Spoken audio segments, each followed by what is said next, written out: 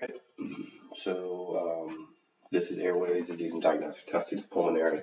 Um, you know, please try to keep this active. You know, if you don't know something, calls and test yourself, um, especially as we get to some of the more nuanced um, asthmatic subtypes, um, as well as doing these MKSAP questions. Do MKSAP questions and then uh, use this as kind of a supplement to that um, to make sure you're doing active learning, fill, fill in any knowledge gaps. All right, so first to MKSAP pulmonary question 97. Um, and then going through this question, this is really about uh, pulmonary diagnostic testing and interpretation of PFTs, which is a big critical part of pulmonary and requires a decent amount of understanding of pulmonary as well. So going into this,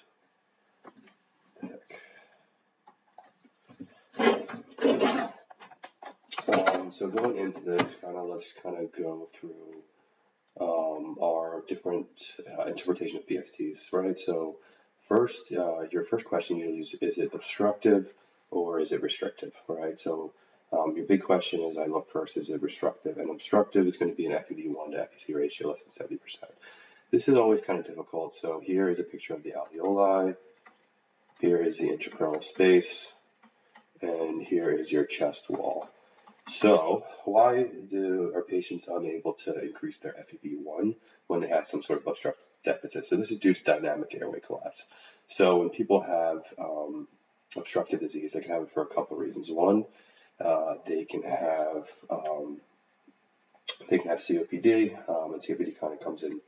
Maybe it's not as accepted anymore, but two forms of chronic bronchitis and emphysema. So emphysema is really going to be destruction of these airways here, so destruction of these uh, alveolar sacs. And what this does, it decreases the elasticity um, in your alveoli, which basically decreases airflow. So that decreases airflow um, because you decrease elasticity, so it decreases the pressure.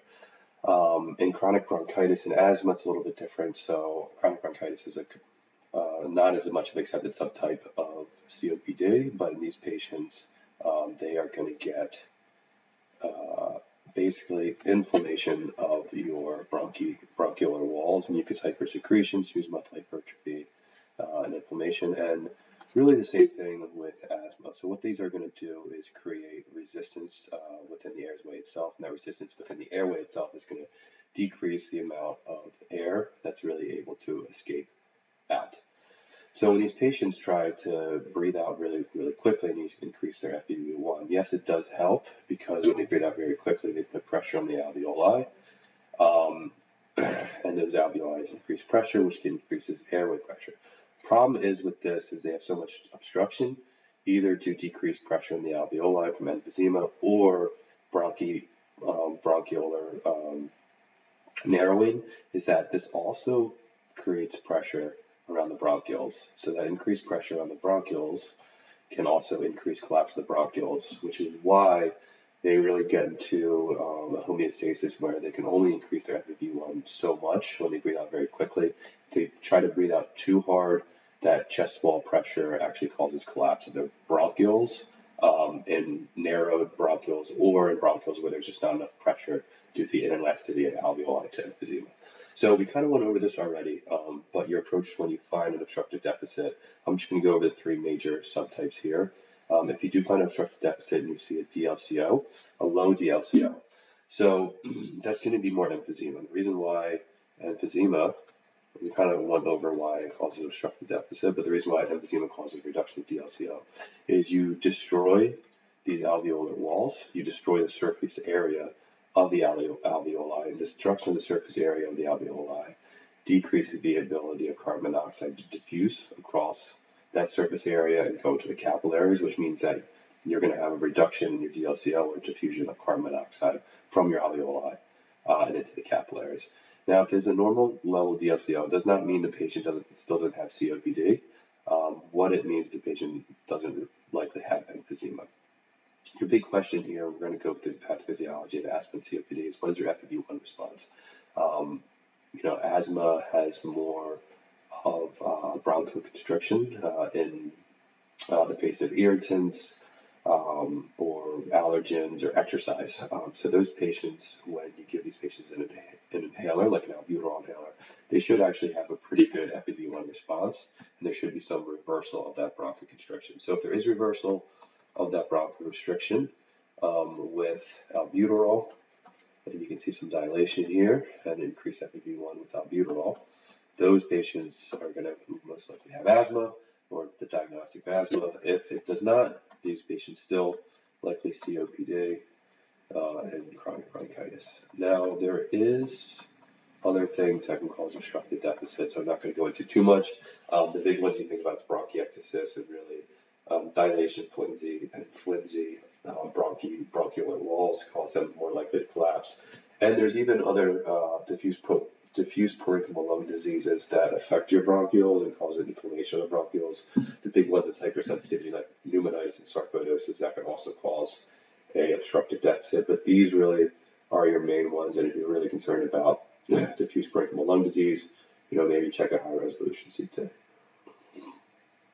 The same thing with bronchiectasis. So next one is going to be your isolated reduction of DLCO. So going over DLCO, so carbon monoxide here, DLCO is looking at diffusion of carbon monoxide from your alveoli uh, and into your pulmonary capillaries, right? So how does it do it? Well, the pulmonary arterial brings RBCs, right? And the RBCs go ahead and bind that carbon, uh, bind to that carbon monoxide and allow it to fuse from your, allow it to diffuse from your alveoli uh, and into your, um, into your pulmonary arterioles. These patients have a reduction of a low DLCO um, because these patients may not have any restrictive lung disease yet, any pulmonary fibrosis yet. Um, in some cases, um, so these patients usually don't have a diffuse peripheral lung disease. If they did, more likely they would be in our restricted So, what type of things can cause a reduction of the DLCO? Well, one is going to be um, anemia right? So uh, most PFTs should correct for anemia with their DLCO, and they have a formula for it. But if they don't, this can throw you off, right? They have decreased RBCs, they're going to decrease carbon monoxide uptake from RBCs. So anemia can do it, um, but most PFTs should really uh, do a formula that accounts for what the patient's uh, hemoglobin is. The next one, and the big one you're going to think about, is really going to be destruction of this pulmonary arteriole what kind of things can cause pulmonary arterial destruction. Maybe test yourself real quick on that one, and then we'll go into it. But the big ones is going to be um, really going to be pulmonary hypertension. So that can be two things: acute pulmonary hypertension uh, secondary to PA or, or, chronic pulmonary hypertension, which has a myriad of uh, different um, causes, which we'll review in our pulmonary hypertension, uh, pulmonary hypertension lecture. So pulmonary hypertension can do it.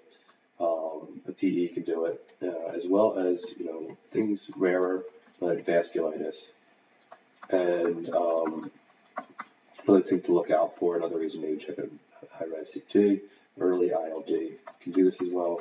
Not exactly sure if it's more that early ILD causes more pulmonary arterial destruction which reduces the amount of carbon monoxide that's up, uptaken from the alveoli, or there's just not enough fibrosis quite yet to get a restrictive deficit, but they still have decreased diffusion from that from that fibrosis from their uh, you know uh, alveoli to the capillary. But early ILD can cause a reduction in, in DLCO before it causes anything else.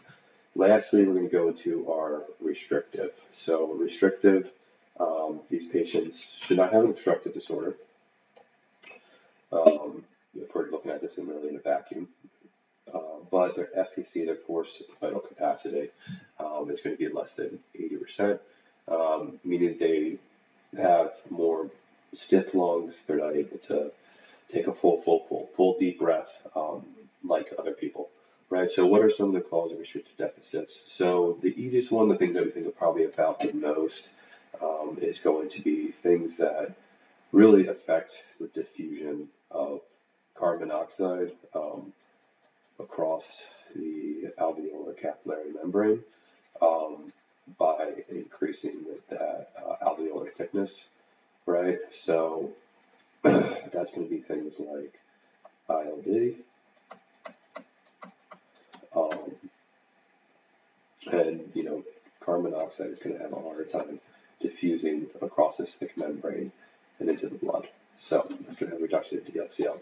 One thing people do kind of forget about as well is that patients, um, you know, sometimes it's hard to differentiate ILD with heart failure. Um, both can have CT findings, um, you know, ground glass opacities. Uh, both can have intralobular thickening. Um, both can have hypoxia. So something to think about here is heart failure. Heart failure, that fluid and edema in the alveoli, not only is going to cause a restricted deficit in which these patients can't open their alveoli too well um, because of all that edema, they're going to have stiffer lungs. It's also going to cause a decreased diffusion across that across that alveolar capillary membrane. So heart failure is still in your differential when you have a restricted deficit and reduction in DLCO.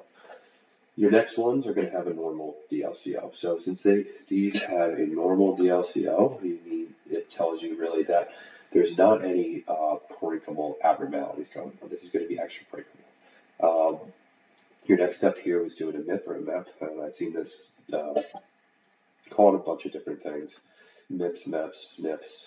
Uh, but really what you're looking at with these is inspiratory force and expiratory force. So that's going to be your main deciding factor and maybe something that you pursue in a restrictive deficit with a normal DLCO. You're really looking to see the people, do they, it really looks to see if the patient has neuromuscular weakness. If they have a normal MIP or MEP, these patients don't have any neuromuscular weakness, right? These are just caused by um, things that uh, really cause extraparenchymal constriction, right? So um, extraparenchymal constriction, or sorry, extraparenchymal extraparenchymal restriction would be things like obesity, kyphoscoliosis, um, chest wall disorders, maybe maybe bilateral pleural effusion. All of these would cause restriction that would um, decrease the ability for the patient to take a full breath, but their diaphragm still works. Um, they're neuromuscularly intact, so they can still breathe out quickly um, and breathe in quickly, so their max inspiratory and expiratory force would be normal. Your next one, if you have a low MIP, low MEP, you're unable to breathe out quickly. These patients are more likely to have um, diaphragmatic disorders, right? So their diaphragm isn't working uh, well, so they're not able to breathe in, breathe out. They're not able to uh, ventilate their lungs. so they may have a low MIP, low MEP, and really think about muscular disorders, um, myositis, uh, dermatomyositis, polymyositis. Um, you can think about neuromuscular disorders. Uh, so you can think about myasthenia gravis. Uh, you, you can think about um, so bulbar ALS once I present like this. So you really want to think about diaphragm disorders. Um, a lot of them that I just kind of noted. Well, when you see someone that comes in a restricted deficit and they have a low MIP and a low MEP. All right, so that's kind of going over interpretation of PFTs, kind of one of the biggest things to understand in pulmonary at a medical student level, and also also to review again at a uh, resident level as well. All right. So next question, do MKSAP 19, pulmonary question 17. All right, so this one is uh, getting in mostly, we're getting to asthma, pathogenesis, diagnosis, um, things like that. Uh, so going over the pathogenesis of asthma. So what's going on with asthma? So you get some sort of inhalant of irritants, right? So these irritants can be a lot of different things. It can be perfume, it can be organic substances, inorganic, well, mostly organic substances, um, allergens, it could be exercise, it could be even sometimes gastric uh, um, fluid inhalation with people with GERD. So these inhaled antigens cause mostly, well, in all cases, allergic or non allergic asthma, um, they're going to cause a T cell reaction. And these T cells, what they end up doing is um, really uh, causing inflammation of your bronchioles, which over time can cause um, some of the chronic remodeling of asthma. So a lot of times with re-exposure of these inhaled agents, it can have IgE-mediated reactions, increased leukotriene secretion, um, and uh, bronchoconstriction, leukocyte secretion that can cause exacerbations. But over time, I think people realize they can really have those chronic changes of asthmatics. So if you look at normal histology here um, of your bronchiole, here's the lumen. It's normal. It's open. Um, here's your epith- epithelium here. Here's your smooth muscle. Um, but when you look at a chronic asthmatic, you can see things like mucus hypersecretion. You can see that their basement membrane is increased. You can see that there's fibrosis. You can see that there's smooth muscle, smooth muscle hypertrophy. All these things causing inflammation, but also subsequently uh, causing uh, bronchial narrowing. So everyone with asthma needs PFTs. It's it's it's a necessity. Um, really, uh, for these patients, um, you really want to look to see uh, if there's obstruction, right? So people with these chronic changes of asthma, from T cell inflammation, eosinophilic inflammation in patients with um, allergic asthma, uh, or neutrophilic inflammation in patients with what they used to call old school intrinsic asthma, they're going to get these inflammatory changes. They're going to get bronchial narrowing, and that bronchial narrowing can cause obstruction. But, but, but, but, some people really only get um, bronchial uh, bronchial hyperreactivity and bronchial narrowing and restriction, reversible bronchoconstriction with irritants and allergens. So some patients might not have these changes, and some patients might just have reversible bronchoconstriction. So you always need to remember if the patient has normal PFTs and you have a high suspicion, the next thing you want to do is check your methacholine challenge tested uh, as well. The methacholine challenge um, really looks at reversible bronchoconstriction in the face of an irritant or muscarinic agonist. Um, and uh, you know this can make the diagnosis of asthma um, in the patients that don't have an obstructive deficit and maybe didn't really have a lot of this chronic remodeling um, secondary to asthma. All right, so do next step 19, question 24. All right, so we went through pathogenesis. Um, so diagnosed with asthma, went through PFTs already. Uh, and then looking at the labs, um, so uh, maybe we'll go into clinical manifestations of asthma. So a lot of these asthma patients can have short breath for a long time if they have obstructive deficits. But the hallmark of asthma is that reversible bronchoconstriction uh, in the setting of uh, various stimuli, irritants, allergens, infections. And infections are a big one because these patients can have a robust response. If their asthma is uncontrolled outside the hospital, they're high risk. This can lead them to being hospitalized and um, subsequently death uh, in, in, certain cases, cases, unfortunately. So there's two types. Uh, so there is, well, old school. This is old school, is that there's two types of that. not really accepted anymore, but I'm still going to teach it because I think it's somewhat helpful to think about asthma. There's extrinsic asthma. This is allergic asthma, young patient, atopy, maybe they have atopic dermatitis, maybe they have um, uh, nasal, like sinus uh, disease from allergens. Um, but then there's also intrinsic. And I think this is good to remember because some people really don't fit this extrinsic asthma category, especially my patients, adult patients. You can get asthma as an adult. Sometimes it's less likely to be eosinophilic inflammation, more, more, more neutrophilic inflammation. There is a increased um, concordance with patients who have severe obesity, uh, and it, it, sometimes is less steroid responsive. So just because someone's old and don't have history of atopy does not mean they don't have asthma. These are really not accepted subtypes anymore. Um, these are kind of our agreed upon subtypes here, but it's good to remember because patients don't always fit that atopic subtype with having asthma, and I think sometimes these patients are diagnosed with COPD uh, even though they've had you know less than a 20 pack year history of smoking. Um, so lastly, for workup diagnosis, we went through challenge. Labs you really almost always want to check. Some say it's only checking with clinical suspicion. It could be a CBC with diff and total IgE. If the CBC with diff or total IgE are elevated, um, you can really make the diagnosis of subtype of allergic asthma, and that's going to help you um, for further diagnostic testing and also treatment. So when you think you want to check it, chest X-ray, you pulse. Um, if it's a slam dunk, you know, it's maybe young patient, um, no other uh, past medical history, kind of you know very typical manifestations of asthma, you may not need it. But older patients, or if you have any atypical features, um, you really want to check an X-ray. Maybe you need a CT, uh, looking for bronchiectasis, ILD, heart failure, cancer. Of depends really on your clinical suspicion. Um, all right, what is our next question here? Okay, the Duke mix out uh, pulmonary out question 40.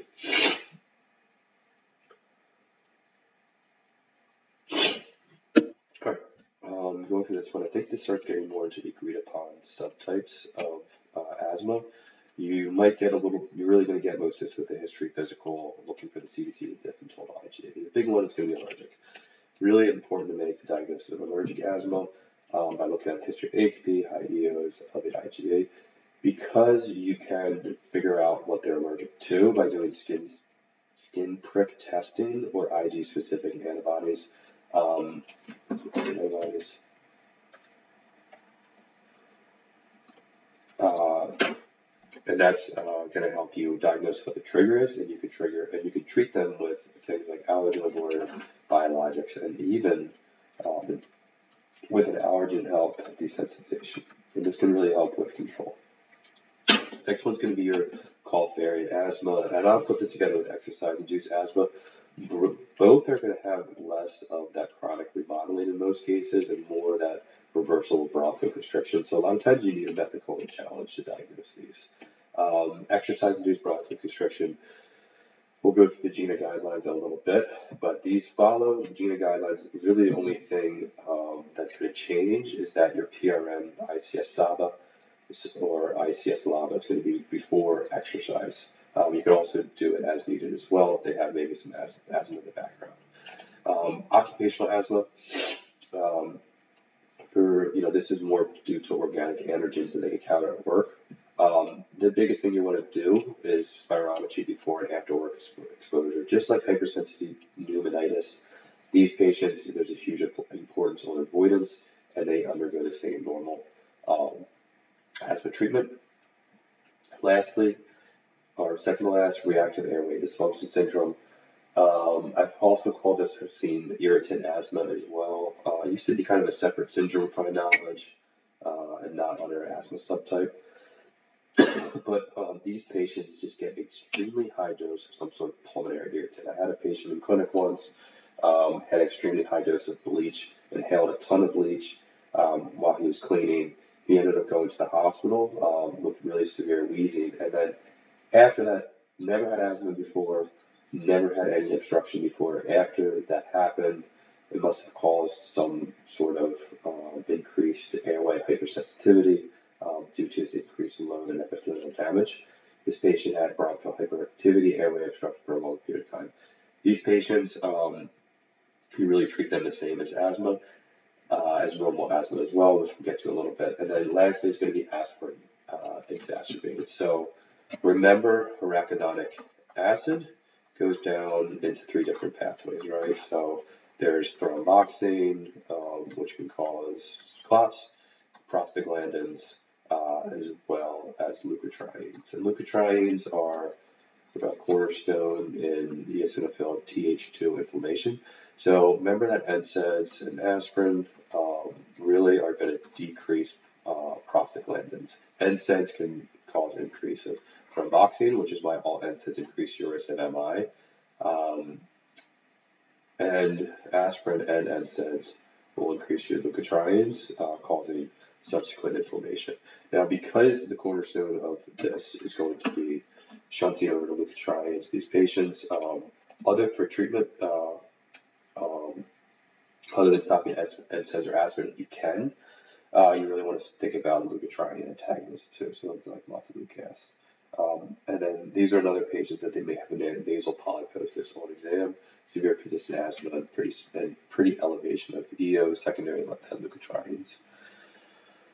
All right, so this kind of goes over our pathogenesis, diagnosis, manifestations, and sometimes, Remember, not everyone's going to get chronic, chronic bronchoconstriction, so if you have a high suspicion, um, you really want to go uh, at a negative, um, negative structural PFTs. You really want to check methacholine challenge testing. All right, to pulmonary 19, question 85. So this gets starts getting into um, hazard management based on the GINA guidelines.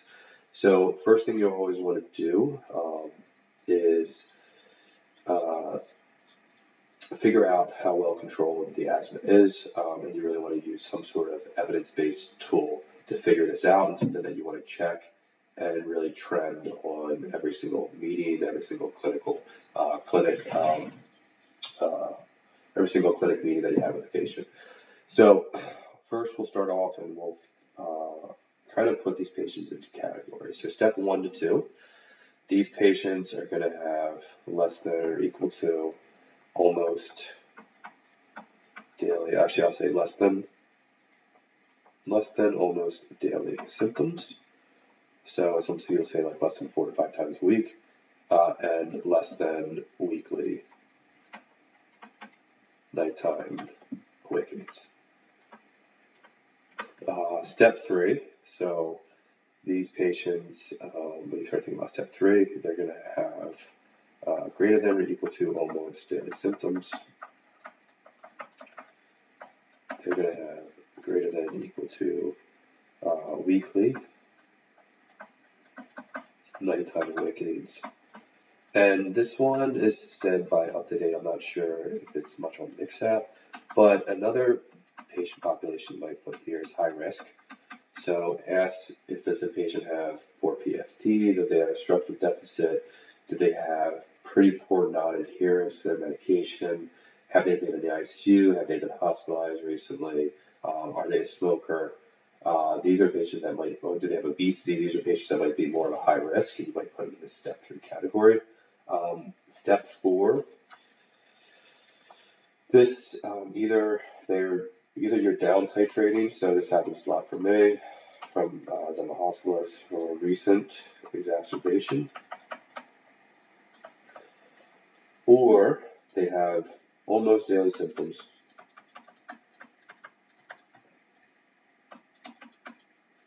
Almost weekly or weekly nighttime awakenings. At plus decreased lung function. And lastly, step five, these are patients that are kind of refractory to above, and we'll get to the management of those. So this is kind of how you classify, if you're starting off for the first time, this is really how you're going to classify what type of uh, medication and what dose you're going to start with. Um, but for step uh, that you're going to start with. Um, but once you are seeing the patient, you're really going to step up and down um, to make sure that the patient has complete control of the asthma because that's going to prevent hospitalization if they get a respiratory infection. All right, to this question. And we will go over pathophysiology um, a little bit for uh, asthma, right? So asthma, we kind of went through this a little bit. We have an antigen. An antigen is to IgE, and for the acute response, that IgE is present in mast cells. Those mast cells secrete leukotrienes. Those leukotrienes cause uh, reversible bronchoconstriction. So this is really going to be your acute exacerbations. Remember we talked about already, there's that late phase reaction, that chronic remodeling. This is mostly going to be patients here. Uh, it's going to be the allergen subtype because it's the eosinophilic inflammation. So these patients, they get the trigger, trigger they get bronchoalveolar inflammation, they get T cell immune activation, and those T cells, which you see here, um, if they are Th2, they get a Th2 response, um, which is kind of your allergic response. They have IL-5 production, which increases the eosinophils. They have IL-4, which increase, increases basophils and IgE, um, and they may even have IL, uh, IL-13 as well, which can also mast cells and leukotriene production. All things, especially the allergic subtype, at least here, um, that uh, increases chronic remodeling, which we went over chronic inflammation of the airways. Uh, maybe the patients in the non-external intrinsic neutrophilic asthma they also have um, T cell activation of these patients may have more of a neutrophilic response. Um, so that's kind of going into the pathogenesis of asthma, and I'll use this to go into the treatment. So this is really why your cornerstone of treatment is going to be steroids. So it used to be, uh, and I don't accept it anymore, that you know patients that said, let's say, asthma that was relatively well controlled could just be on SABA's PRN. But to me, a SABA short-acting beta agonist really doesn't hit the actual cause of asthma, which is going to be inflammation. So not only does it not help with inflammation during acute exacerbation with uh, mast cell degranulation of the leukotrienes, really doesn't decrease this bronchial alveolar constriction over time. So if you're not using steroids, you're inhaled steroids, you're not really treating the underlying cause of asthma, and it seems to me like those patients are really going to progress, or they'll just keep using their inhaled short-acting beta agonists all the time until their asthma gets worse, worse, worse. They get more of these chronic remodeling, chronic, chronic constructive changes, and they end up getting hospitalized. So this is to me why the ICS is always going to be a cornerstone on your maintenance control of um, asthma. And ICS means an inhaled corticosteroid. So this is why I follow, and I think most people follow the new GINA guidelines. And the GINA guidelines not only do they treat the underlying pathophysiology of asthma, which is bronchial inflammation, um, uh, they also make it extremely easy on the patient because you just have to give them one inhaler. So for step one and two, this be low risk patients, symptoms less than daily, less than almost daily, nocturnal awakenings less than weekly. We went over and do that. These patients would get PRN, uh, ICS LABA. So they just take it whenever they need it. If they need it more, they get more ICS, um, and they decrease their inflammation of the bronchioles. Step three, once these patients are either multiple risk factors, symptoms daily nocturnal awakenings, um, you do the same thing. So ICS LABA, but you do it PRN and you do maintenance. Now, if they get a little bit less controlled, um, or if they have long, low lung function, uh, or if you're stepping down after acute exacerbation, uh, these patients are going to get a, uh, sorry, this is PRN low dose, the ICS LABA, PRN and maintenance low dose ICS LABA. This would be PRN and maintenance uh, medium dose ICS LABA. So just really um, take Sometimes you can just increase the amount of doses that they're taking of their ICS LABA, which can be um, increasingly helpful, but you want to do a medium dose here. Uh, once it gets to refractory, this gets a, and the other thing to, to, to mention is that low dose maintenance PRN uh, ICS LABA doesn't have as many side effects, things like pneumonia, thrush, um, systemic side effects once you start getting medium dose, there you do start getting that more. So if you can, you really want to down, you want to follow the patient and uh, down titrate to low dose as, as, as needed once they're better controlled. So refractory, there's a couple things you can do here. Um, some of the things you can consider is adding LAMA. Um, you can do consider high dose, uh, high dose ICS LAMA for a while. You don't want to do oral steroids, but if really needed, um, sometimes you could do it. And then here is where you really start thinking about biologics, um, especially for patients that have the allergic subtype. Um, and going through those biologics, uh, the ones that we really look at uh, for the allergic subtype at least is going to be one omalizumab. So this one uh, inhibits IgE, uh, IL, IL5 here. Inhibitors would be reslizumab, mepolizumab, or reslizumab. IL4 is things like dupilumab. Might be butchering these. IL13 are things like, I think, lep, lep, lebrikizumab. And there is one that actually goes back and uh, um, decreases a lymphopoietin factor, so decreases T cell inflammation, and that one is tezepelumab. Um, so not only does tezepelumab help with Th2 asthma, it also helps with um, neutrophilic asthma as well as things like IL-17, probably IL-23, but you know GM, CSF, probably those cytokines increases neutrophilic inflammation. The cytokines are secreted by T cells. So tezepelumab is really the big one that you can use. Um, uh, really the big one that you can use for neutrophilic asthma. Uh, so that's one one choice you can use, especially those patients are not well controlled. All right, so here, uh, let's do MKSAP 19, pulmonary question 80.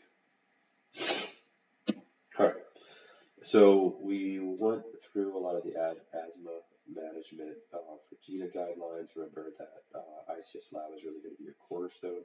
Um, if refractory, start thinking about the biologics that we went through, especially if they're allergic, but if they have neutrophilic or what we used to call intrinsic subtype, maybe you can use uh, tezepelumab um, uh, as well, which is a like anti-stromal lymphopoietin inhibitor. Um, so then you have to think about comorbidity management. These are really things that you want to talk to the patient every time you visit them. Um, so things that can really, really help with asthma, one is going to be obesity, right? So consider talking to the patient about obesity. If the patient has obesity, controlling obesity not only control lot their other comorbidities, but um, you remember at, at, at adipocytes secrete IL-6 that it causes uh, whole body systemic inflammation. So obesity is really an inflammatory state. So decreasing obesity can really, really help get control of these patients' asthma. Um, ask the patient about GERD.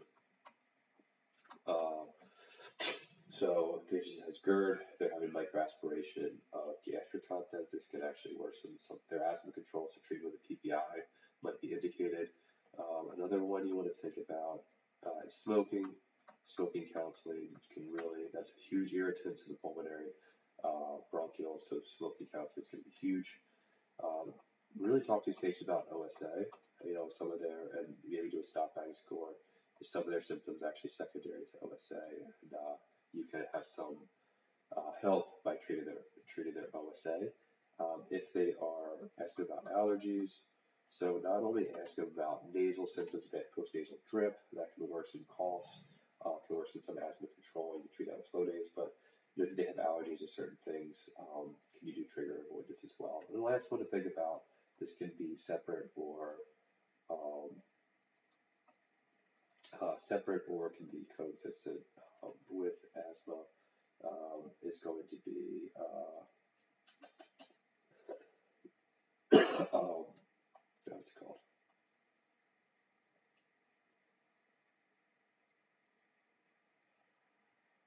Laryngospasm. Uh, we'll go through this a little bit, the exact diagnosis of this, but some sometimes patients uh, in, with irritants or exercise can actually get adduction of their vocal cords, the laryngeal spasm. They get inspiratory and expiratory wheezing. Sometimes they may present to the hospital with this. They may be diagnosed with asthma from the wheezing, but in reality, it's from their vocal cords. Um, things that can clue you in is that they have really incredible control. They have really, really good control outside of when they have symptoms, um, all because from that adduction of the vocal cords during uh, irritation or exercise. Um, the only way to make the diagnosis is like a uh, and seeing vocal cord um, adduction during uh, uh, one of these episodes, but it can be tough because patients are really short of breath and may not tolerate that well. If you are think that the patient has uh, vocal cord spasms, you can kind of refer them to speech therapy who can work on um, some sort of some therapy to reduce uh, adduction of your vocal cords. Um, so not just spasm, but more vocal cord spasms. So can can coexist or can be misdiagnosed.